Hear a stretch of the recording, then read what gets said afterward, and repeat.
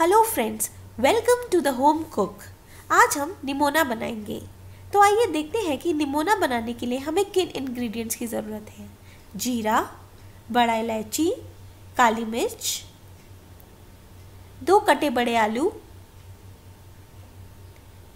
थोड़ा अदरक 10 से 15 लहसुन की कली, चार से पाँच हरी कटी मिर्च 100 ग्राम कटा हुआ हरा धनिया, आधा किलो मटर, तीन हरे कटे प्याज। मिक्सी में हम अपने खड़ा मसाला डाल देंगे, कटा हुआ हरा मिर्च, लहसुन, अदरक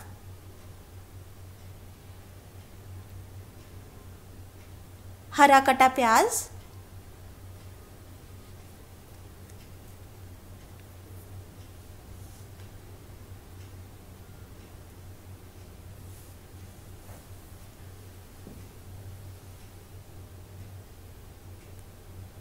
और कटा हुआ हरा धनिया।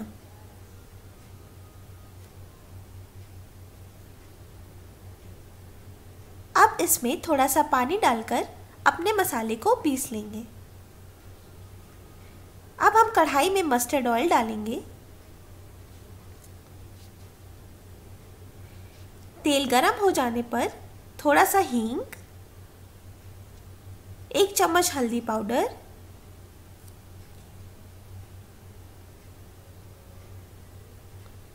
और हमारा पिसा हुआ मसाला डालेंगे।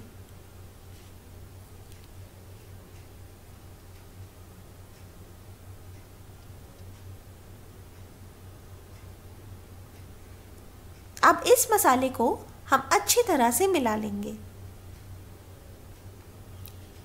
जब तक हमारा मसाला भुन रहा है, तब तक हम अपनी मटर पीस लेंगे।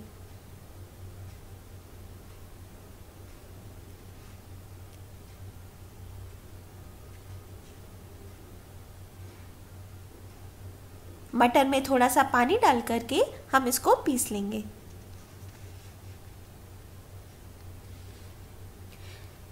दस से पंद्रह मिनट भूनने के बाद अब हमारा मसाला रेडी हो गया है। इस मसाले को हम अलग बोल में निकाल लेंगे।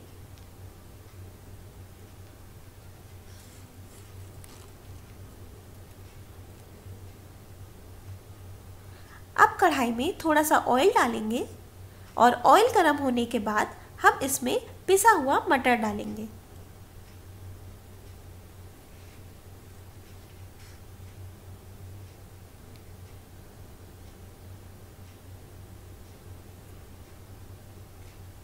साथ ही में थोड़ा सा पानी ऐड कर लेंगे और मटर को अच्छी तरह से भून लेंगे।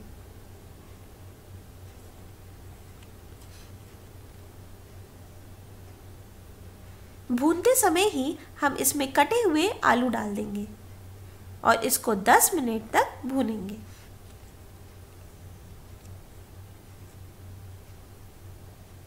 दस मिनट भूनने के बाद अब हमारा मटर तैयार है।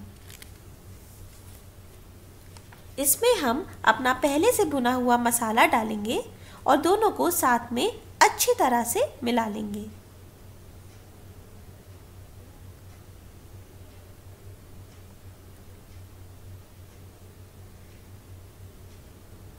अब इसमें हम अपने स्वाद अनुसार नमक डाल देंगे।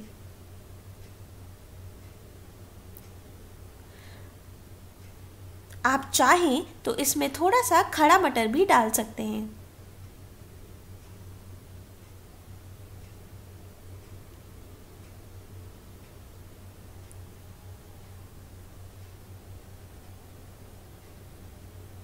दस से पंद्रह मिनट और भूनने के बाद इसमें हम दो ग्लास पानी डाल देंगे। इसको अच्छी तरह से मिला लेंगे और उबलने के लिए ढक देंगे। 10 मिनट उबलने के बाद हमारे आलू अब पक चुके हैं और हमारा निमोना रेडी है। अब इसे हम अपनी सर्विंग डिश में निकाल लेंगे।